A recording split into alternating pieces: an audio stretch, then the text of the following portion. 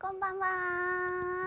はい水曜夜9時になりました。花井美春です、えー、いつもはですねみのりんごと2人なんですけれどもちょっと熱が出てしまったということで、えー、ギリギリまで様子を見ていたんですけれども大事をとって今回はお休みすることになりました、えー、代わりにですね、えこの方にピンチヒッターをお願いしました。みんなこんばんは。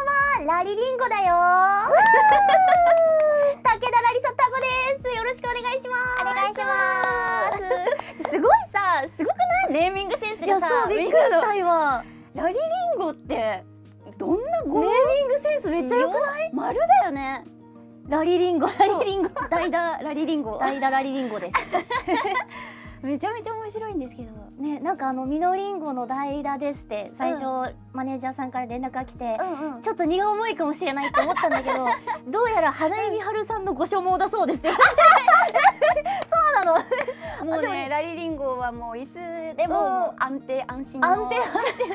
じゃあルンルンが呼んでるなら私行きますわ。って言って今日来ました。嬉しい。ありがとう。ごめんね。こちらこそ私のことをミノリンゴだと思って今日は。分かったじゃあそう思って話すね。うん。というわけで、えー、この二人で今日はお届けします。やばいやっぱ匂いかもしれない。いやいやいやいや自分で言ったからね。えー、それでは改めまして始まりました声優エンカウント。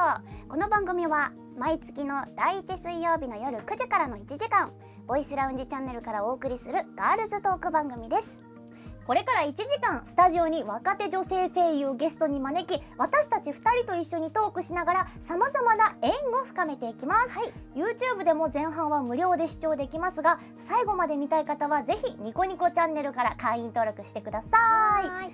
こちらこちらこちらから会員登録することができるのでよろしくお願いします。さらに YouTube ではメンバーシップ登録をすることができます、うん月額会員になれば過去の番組がアーカイブ視聴できますので YouTube から視聴している方はぜひご登録お願いします。はい。そしてもちろん視聴者の皆さんからのコメントも読んでいくのでどしどしコメントしてください。ハッシュタグの後にエンカウントも忘れずにお願いします。こちらです。はいお願いします。はい、ということで、えー、前回はですね磯部かりんさんが来てくださったんですけどあそうでしたね、はいはい、どうでした？その時はやっぱすごい楽しくて、あとお可愛らしい方だから、ね、どういう話したか覚えてる？えっときゅうりの話しましたよね 全然してないです。キュウリがねやっぱあの美味しい季節にこれからなるよねって話したじゃん。私が覚えてない？そうだよ。浅漬けがいいって話したよ。ごめん。ごめん。全く覚えてないんだから。覚えてない。そんな話してねえよ。何の話したんだ。いやいやもうねあのゴンちゃんは聞き慣れないんだよなゴンちゃんも。そう私ゴンちゃんって呼んでるんですけどさっきね久しぶりに呼ばれてねとっさに反応できたんだけど なぜか。すごいんだよ。なぜかできたんだけど。そう。ゴンちゃんは実はシャープ2でそう来てくれてたんだよね。そうだよでも私の中では初ゲストってことになってるよ、そうだよ。実は収録順がねそうそうそう。ねじ曲がってるからそうなの。そうエンカウント、初ゲスト武田ラリサ多分実は一番目の女なんですよ。そう。なんです。そうなのこの歴代の女たちの、うん、もうほらパジャマじゃなかった時代に来てるからそう私服だったもんね確かね。懐かしい。それが、どうやらもう1年以上前らしい。えー？2年まではいかないけどみたいな？と半分ぐらい？2年以上？2年以上？え嘘！2年？いったっけ？めっちゃ長寿番組になってるこれ。気づいたら、本当だね。だって全然エンカウンター溜まってなかったよ、私が来た時。どれぐらいだっけ？え本当ゼロ。最初の女だもんねだって。そう一番最初の女だしでもなんか私に関係なかったんだよ別に出た目がどうであろうと。そうだっけ？そうなんか2人 MC の2人は今後ご褒美があるけど、私には全然関係なかったから全然こだわりなく振ったから、ちょっと出目とか覚えてない。けど覚えてたらすごいけどね。久しぶりに見たらなんか、今41まで溜まってるらしいそうなの。でも散財した後ですからねこれは、ね、そう一回放出したんだって。そうもうね マイナスまで行きましたよ。借金してた借金返済大変だったんだから。あ懐かしの写真懐かしいこれが2年前ですそうだ。えでも全然変わってないねゴンちゃんね。えでもルールも変わってないよ。嘘 嘘嘘。何も変わってない。嘘。えでも髪型だんだん白くなってってる。いやそんなことはないでしょ別に。そんなことはないですよ。いや毎回驚くんだよねいやいやいやいやい白さや。いやいに。やいやいやいやそんなそんな。白く見せてるだけですから。いや白い。本当に白いですこれは。本当に君もやで。あ私は本当に照明の力、私はじゃんじゃあ。そしたら私はじゃんいや今日はもう素敵なゲストさんが来てくださってるんですよそうもう早く。この後はね、はい。ゲストが登場しますよ。はい。ということで少々お待ちください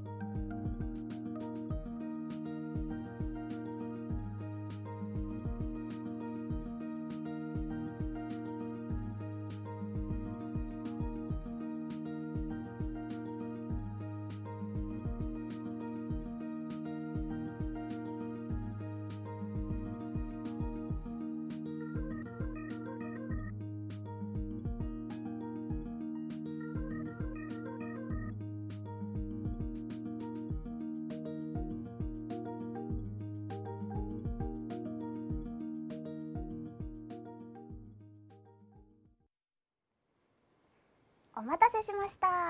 それでは本日のゲストさんを紹介しましょう、えー、橋あふみさんです。皆さんお元気ですか？アフィこと橋あふみです。パイナポー。パイナポー。ペンパイナポー。パイナポー。あれ違うか？やばい。ペンペン忘れましたペン。あーよくない。よくない。なんでこんなにパイナップルなんですか？えこれは普通に、回ねこんな素敵な番組に読んでいただいて初めて足を踏み入れた、おしゃれな、ルームウェアのお店に、でも目の前にパイナポーがあって、もう直感パイナポーで。直感パイナポー。ポーではい。これかぶったらいけちゃうんじゃないのって でも不思議となんか その家女子感はすごいある。確かに。この逆に？女子の家の姿って結局こうだよなみたいな。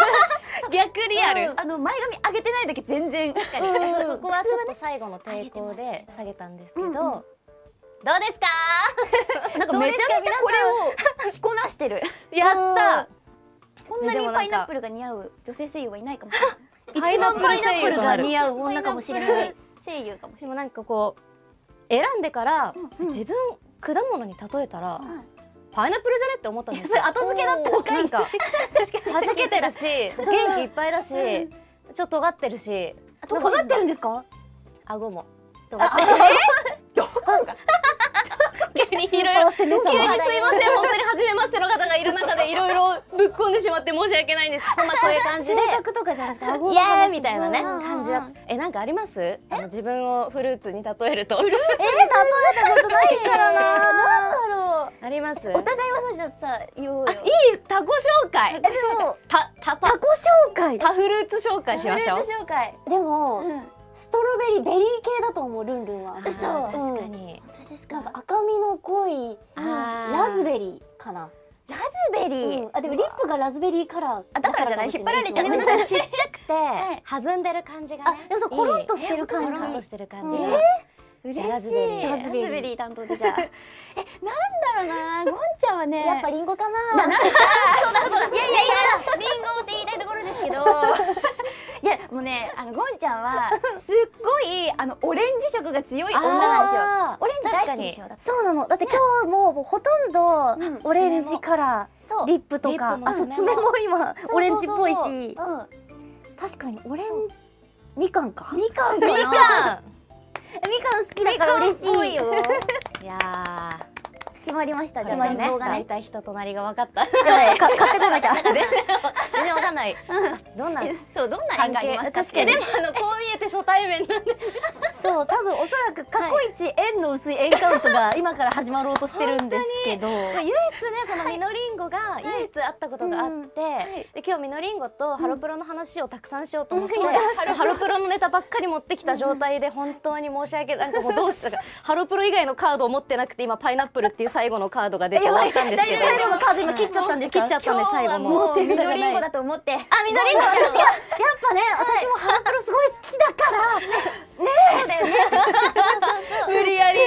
そうそう大丈夫か？私乗り切れるか？大丈夫だよ。ちなみにななんてお呼びしたらいいですか？あ私はラリちゃんが多いですね。ラリちゃん。ラリちゃん。じゃあラリーで。ラリで。すごい。一気に踏み越えてきた。フレンドリー。私はルンルンとかミハルンって呼ばれてじゃあミハで。ミハ？ラリーとミハで今日は行きたいと思います。嬉しい。なんて呼ばれるアッこ？とフィーです。アッフィー、はい。アッフィー？ラリーとアッフィーとミハでじゃあなんか可愛い行きましょう。じゃあなんかテンション海外っぽい。海外の。ゆるキャラゆるキャラみたいそうなんですね。いや、そうなんですねって何間違えちゃう。ふわじゃないですか愛の手間違えちゃう。一応ね共通点というか同じ作品にうん。出させていただいてるんですけど、は出番がねなかなか被らない。あそうなんだ。挨拶はしたけどぐらい。もうしてないの。挨拶もしてない挨拶もしてない。初めまして。初めまして。初めもうずっと画面で見てました。私もですよ私も見てました。本当に。あの12月のクリスマスのやつ見てましたクリスマスあの馬娘。あ配信？はい見てました。恥ずかしい。いはい。いつもライブとか見見てます。ファンみたいになっちゃって。ついつい。本当に凄まじいからいつももういやいやいやライブとかでもいつも本当見てますみたいな。ありがとう。ございます。ついついオタク動きがオタク仕草が出てしまう。んです。私草がでもやっぱ見てたからなんうん。か初めましての感じがない？確かに。あそうなんだ、うん。私はもう本当今日が初めまして。初で、うん。はい。コンテンツですれ違うこともこともなくないとう思う。はいんでもさっき休憩時間にすごいずっと話してくださって、一緒にご飯食べてたもんね。おしゃべりが止まんないやろうと。ご飯食べてて。いや本当にいろいろはこれも縁ですね。そこで私これも縁か。私そこで仕入れたハロプロ知識が今のところすべてなんで。じゃあ今日は頼むよ。もう仕入れたてのやつ出せるから。よろしくお願いします。大切にいきたいと思います。お願いします。はい。はいそれではここで視聴者の皆様から届いているイラストやお便りをご紹介していきましょう。楽しえーイラストテーマがね虹だったらしいですデレレン。おお素晴らしい。えー、ゆかりネーム馬行くよくるよさんからいただきました。ありがとうございます。えー、みのりさん、えー、みのりさん、えー、あふみさん、はい。みはるさん、こんばんは。こんばんは。こんばんは。えー、空愛に振り回される面倒な季節ですが、あちこちで咲いている紫陽花が今年も心を和ませてくれますね。えー、なんて美しいお便りなんだ。えー、今月のイラストテーマは虹ということで、うん。必殺のショットでコースに虹をかける皆様を書きましたので、お納めください。素敵すぎる。必。殺のショットでかかるの？虹って。かかります。そうなんだ。そうウィーウィーだよねやっぱりウィーのね。あウィゲーだ。と虹かかるんだ。ウィーでしかやったことないよ私ゴルフ。ウそういうゲームがあるの？かィースポーツみんなねうまく絡めてきたなね すごいよね。え。うん。ちなみにゴルフ経験は？どうです？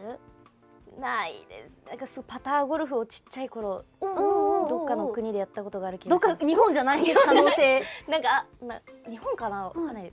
ハワイかな？わかんない。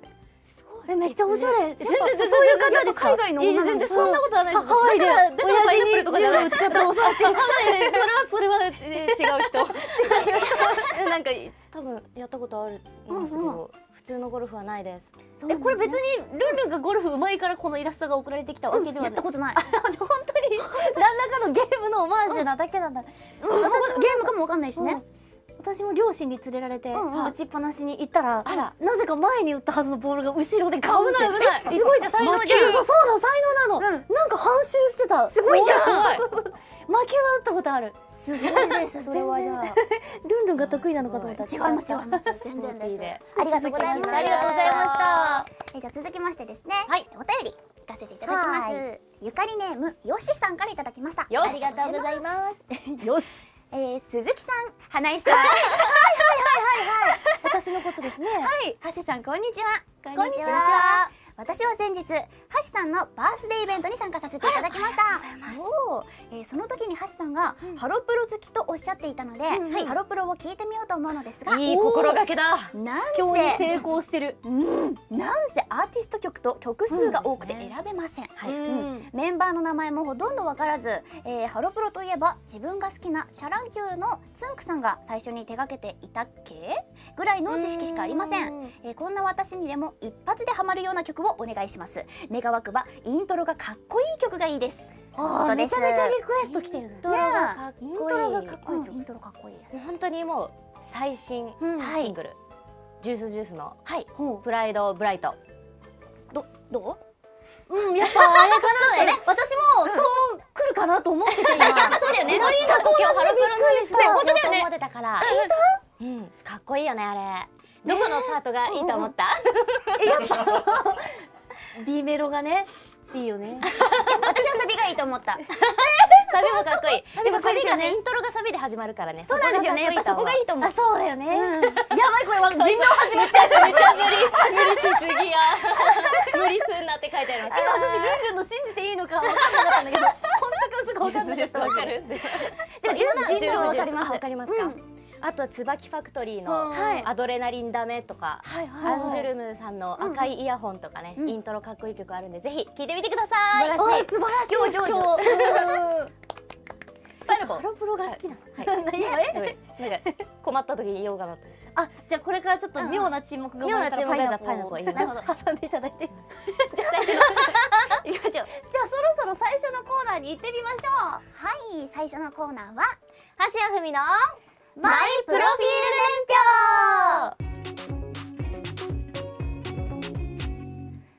はい、えーこちらのコーナーはゲストの方にこれまでの人生を年表にして振り返り声優としての歴史を知ってしまおうというコーナーです、う、うん、えゲストの方がどんな幼少期を過ごしどういったきっかけで声優を目指したのかなどさまざまな経緯を年表にして書いてきてもらいました。はいそれではマイプロフィール年表をオープン。じおおおお細かい。細かい。じゃあちょっ上からと私が読むんですか？そうなんですよ、はい。上からざっといいですか？えー、とある年の簡単に。はい。5月うん。9日、東京という片隅で誕生。あシティガールなんですね。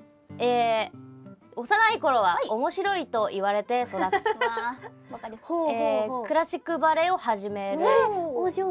初めての劇でナレータあ幼役少期。うんうん。ーこんな感じのペースであいいですいいですあたりですうん。か後でちょっと気になるところはい。詳しくいくんで、小学生、えー面白いと言われて育つえ ずっと面白いって言われ続けてるんだな、歌とダンスが好きになる、うんうん。まあ、ちょうどこの頃モーニング娘。の黄金期が訪れますね。目覚めたんですね、あとは国語の授業の音読が好きだな、うんうん。そして中学高校こちらでついにダンスあ面白いと言われて育ってないあでも面白いと言われてあ面白いと言われなくなったここにも入ってくるんだ。ここで面白い人にくなっている、はい。高校でも。えーダンス部に入る。ほそしてここでやはりね中2でオタク化、うなるほど。あ中二やっぱりやはりみんなそうなんだね。やはり中なんだな2ですね、うんそしてここで声優という仕事を知る、ほうほうほう。ですみませんこれちょっとあのハロプロ補足情報で、え某の木に現場デビューここの辺りですね。え高高校校生で生にして高校生にして、某の木に現場デビューこれハロプロ年表ですね。わダブル年表きた。中高生の女の子が現場って多分もうすごいよくしてもらえそうな。そうなのやっぱり。うん。えーそして大学生。はいこちらでアナウンス研究会とミュージカルサークルに入りまして、うんうん。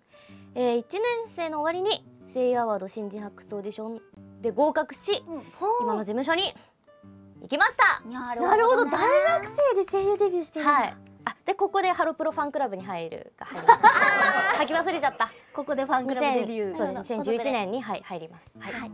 ずっと幼少期から面白いと言われていたんですね。気になるそれなんかえなんか、はい。最近気づいたんですよね、なんかちっちゃい頃って、みんななんて言って育てられました？なんかその可愛いって言われるじゃないですか大抵。なんか確かに。可愛いって言われた記憶あんまなくて。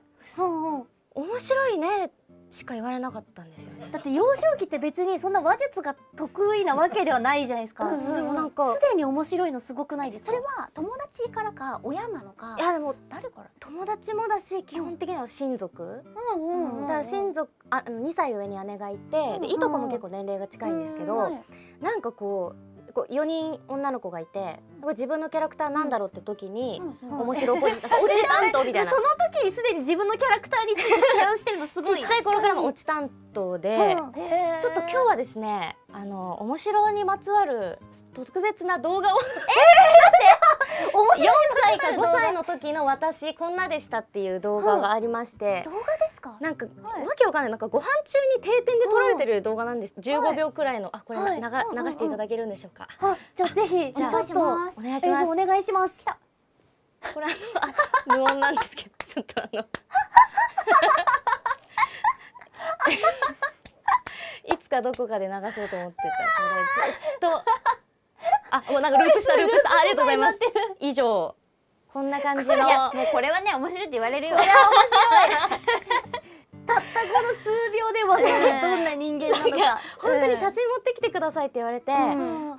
当にふざけてる写真しかなくて、はい。あとはもう服着てないのがほとんどだったので、なんかこのなんかやっぱ持ち込めるの動画がいいかなみたいな感じで今日はちょっと持ち込ませていただ確かきました。に写真よりすごい伝わってきた。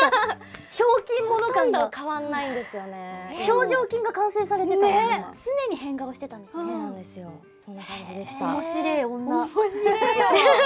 でそんな中、はい幼稚園うんのうんなんか劇うんではい初めてナレーターといううんうんうん役をやったんですけど、劇でナレーターって幼稚園にしては珍しいですね。なんか好きな役をうん。自分で書いてうん。先生に提出して先生が選ぶっていう。うん。だからみんなこのメインキャストうん。を狙ってうん。書いてる中で最初からナレーターって書いて出したんですよ私。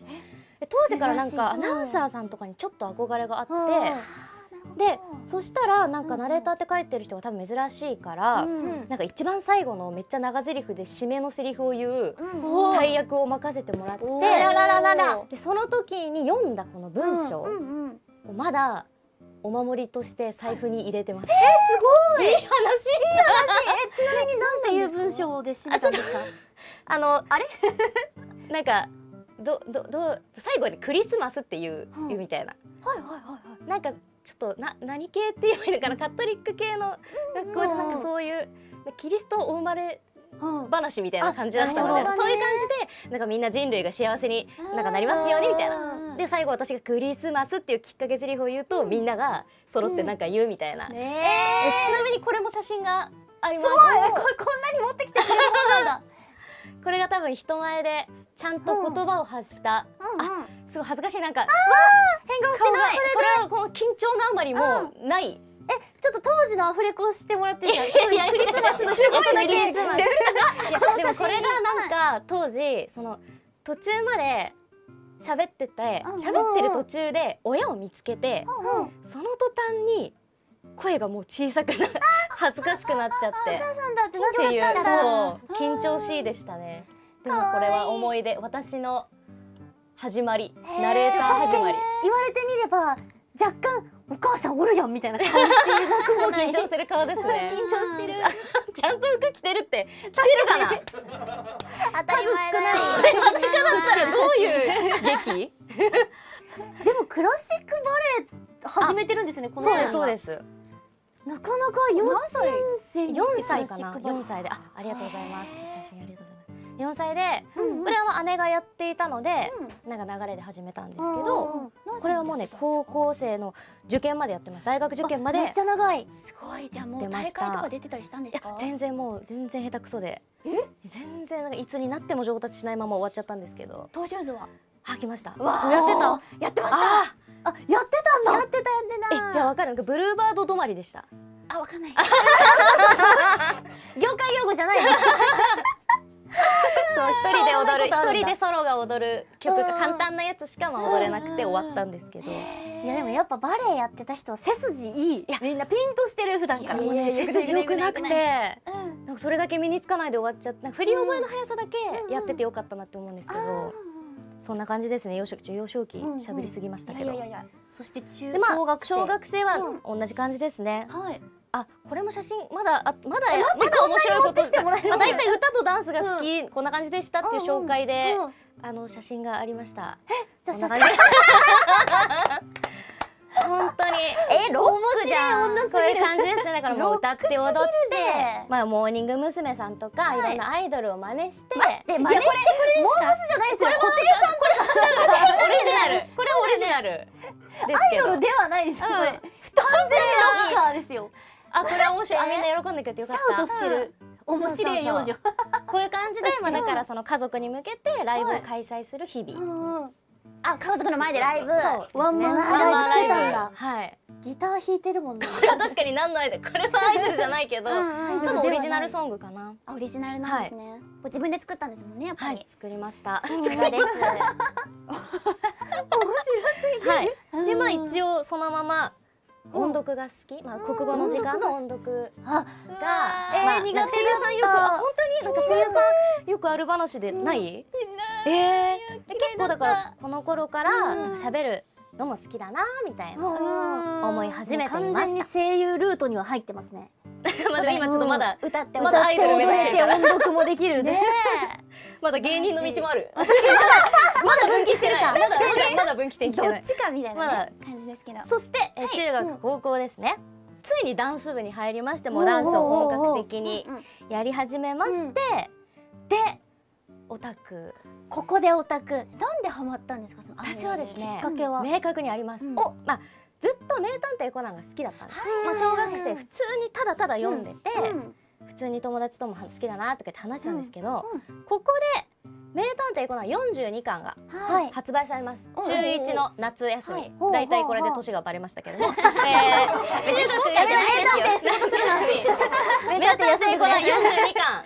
これ聞いたらね42巻確かにってね皆さん思ったと思うんですけど、なんかき起点となる感なんね。ですね。42巻うん。ってはいすごいことが起きたんですよ、はい。なんかこの人がこの人だと思ってたらこの人だったみたいな。何らかのネタばらしがある。そうそう。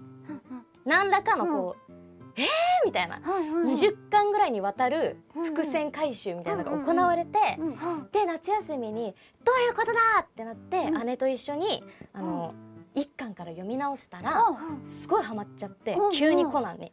だから2学期から文房具全部名探偵コナンに。人格変わったみたいな。あの当時プロフィール帳、はい。あのわうん。最後に終わる時に配るじゃないですか。はいはいあれもコナン。え、コナンのプロフィール帳の。そう。なんか初めてアニメートにも行ったのが、この頃で、で次第になんかあオタクなんかアニメ好きなうんオタク友達みたいのができてきて、うん。中学ですごいやっぱいろんな子と話すうちに、うんその子の話に混ざりたいと思って、うん。ガンダムシードとか、まあ、当時ねそういうの波に飲まれていってでその仲良くなった友達が声優になりたいって言ってたんですよ。えーそう友達がなりたかったパターン。そう。友達がなりたかったパターン、うん。はいはい。でうんうんナレーションも好きだし、うん。え最高じゃんみたいな。うん。確かに。であとね高校生の時かなんかに、うん。国語の先生にうん。急に休み時間に呼び止められて、はい。あなたは本当に文章を読むのが上手ね。あら。間の取り方が素晴らしいわ、絶対に声を使う仕事に就きなさいって言われて、すごくない？すごくない？すごい。見てる先生。でまあなんかこうで独学でなんか家で毎日音読カレンダーではい。高校の時毎日音読の練習したり、あとなんか自分でラジオしてたんですラジオ自分で撮って、うん。CM まで作って録音したりとか。すごい。してました。えでね当時「しゅごキャラ!」というアニメがうんうんおりまして、そこで、まあ、みんな多分その頃小学生かな。しゅごキャラハマったの小学生ってよく話してるの聞いてあ世代が違うって思ったりして。ででそこで Buono!知ってーうんうん「え Berryz工房と℃-ute じゃん!」って言って急にハロプロのオタクにもなるっていう、もうオタク革命期。オタクそうオタク革命期。なるほど。そうなんですよ。へーえそして知ってから？でもまだダンスも好きだったので、うんどうしようかなと思ってミュージカルも好きで。えまだ別にその声優になりたいまでは思ってなかった、ちょっとなりたいなって思ってて、だからそうなんです結構高校の時も先生とかに相談とかしたりして、うしようでも大学は行こうってなって、うん。まあ、一応演劇学部みたいなところがある大学にしようと思って、ででとにかく何でもいいから教わりたいなと思って、うんうんまだこうアナウンスかミュージカルかっていう選択肢。でどっちも入った結果、どっちも入れるんですね。そうなんですよ。検査してました。検査？初めて聞いた。初めて聞いた。で、まあ、大学1年生の終わりにうん。し声優アワードの新人発掘オーディションを受けたらうん受かったので、うん。イエーイじゃあ声優だっていう感じで今に至ります。エリートだ。エリートじゃないですよ。ちゃんとお芝居の勉強はサークルでしかしてない状態で。あそうですね。だからもそうなんだ。うでほとんどミュージカルサークルは幽霊部員だったので最初。うんうんもう1年間。じゃあアナウンスっていうかナレーターの勉強はしてるけど、そのお芝居とか役になりきるみたいなのはあんまり本当になくて。その状態なんかで受かっちゃった。そうでに。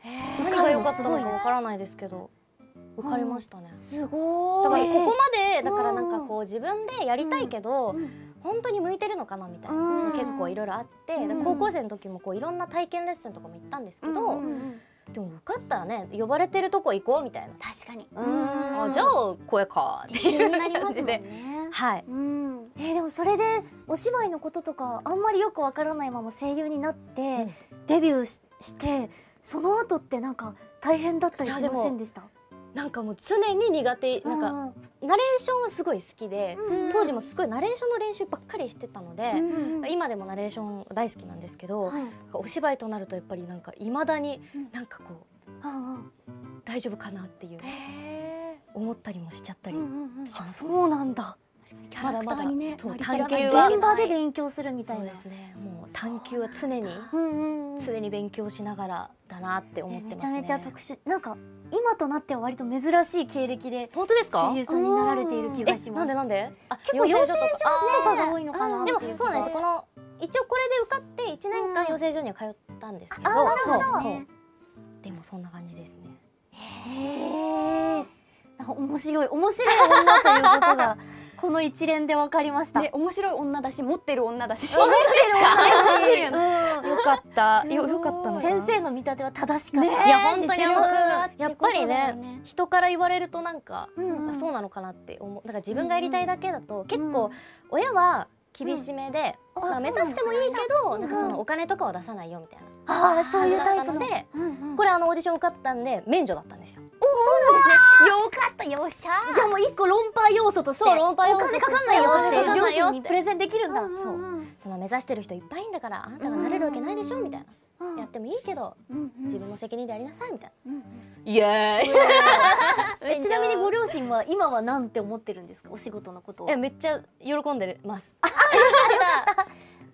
めっちゃ喜んでます、えよかったで軌道に乗りさえすればもう親なんて嬉しいもんです。ね。なんかバイトとかしてたんですか？えもう全然してました。してました。何してました最初はスパゲッティ屋さんで、専門店。専門店。うん。スパゲッティ好きだから。でもい。ろい。ろカフェとかコールセンターとか、コールセンタねいろいろやってましたけど。ね。えなんで？とか言ってなかなか続かないですよね声優いやー声優続かないって言いますよね。ね